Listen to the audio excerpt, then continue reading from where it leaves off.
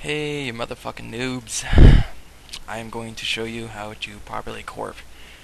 Uh, and I'm just kidding. You're you're not freaking idiots or morons or fucking noobs. Okay, maybe you are. That's why you're probably viewing this. Anyway, that aside, first, what you want to do is take a clip that you want with like a figure of a person or object that you want to take and put into a different scene, which is masking and corping. First, you put the clip you want, as I said, onto the first timeline where I have it circled. And if you can't understand what I'm saying, just go with the marks. It'll just show you what to do, basically. So, yeah. Anyway, that's the reason for it, because I stutter and I talk, and I end up rambling like I'm doing right now. Anyway, you're going to put it on the first timeline, which is highly recommended, so you don't lose your spot. And then you're going to right click and go to, so, pardon me, go to uh, Video Event Pan Corp, or again, where I have the annoying boxes and squares. Once you do that, a screen will pop up with a larger image of um, your video preview. On the left, uh, left-hand side, it should say Position, Rotation, Keyframe, Source, and Workspace. And once you're there, you're going to want to go to the bottom left where it says Position and click Mask. And then that little box that you saw before with the little squares on it, and that big giant fucking F that stands for fuck you, just kidding, um, is going to be gone.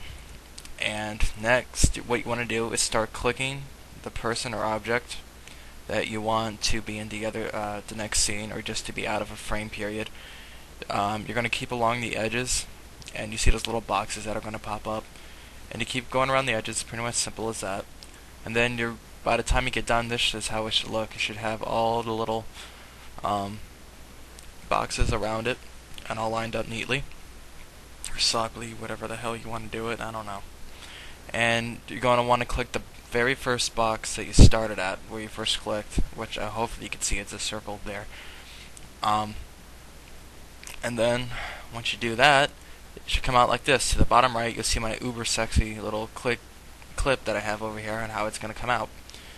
Um, pretty much, it looks really shitty because it's not uh, feathered which is probably how a lot of you are going, what the fuck, that's why I'm here for. I want to learn how to feather, it just looks shitty, alright? You know, just settle the fuck down, you fucking midgets. I don't know why I said midgets. First thing that came to mind, I'm stupid, don't mind me.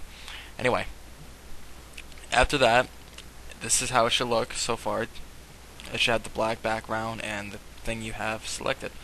Next, you're going to want to go to feather type, and it should say none at the moment. Well, not for long. Next, you're going to click uh, click the box where it said none, and you're going to uh, scroll down and you're going to click both. The reason for this is so that you get that nice feathery look once you do it. But the feathering doesn't look like it until you actually start it to the feather percentage, which I'll get into next. Um, once clicking both, you're going to go here to feather percentage, and it should have 0.0 when you first start. So, we want to change that, right? Of course, duh. Then you're going to open that up or click upwards or whatever. I have it set to 7 and it looks really like glowy and sloppy because I did a shitty job because I was in a hurry. And uh, but it's still sexy anyway. So that's how it should look by that time. It will be nice and uh, clean and a little bit glowy. A lot of you will probably master this a lot better than I have. I'm just showing you how to do it. Anyway, next, you want to take that hold on. Okay, sorry. My mind just completely blanked out. You're going to take that whole thing that you just edited and keep it on the first timeline. Next, you're going to, of course, get the clip you want to put them in and and put it under on the third timeline or whatever one to let you. It's more more likely going to be the third. And you're going to have it there, and that's how it should look, where the red square is. And you can adjust the position of your uh, your masked uh, object by going to a. Uh, you know what? I'll leave that for another video. This is that's pretty much all you need to know for right here. So yeah, this is mainly for a friend of mine. So yeah, fuck you. Anyway, that's how you do it. And that's how it's gonna come out. And if it's not clean enough, well, then just figure it out with what I told you. Yeah. So that's about it. And uh, enjoy.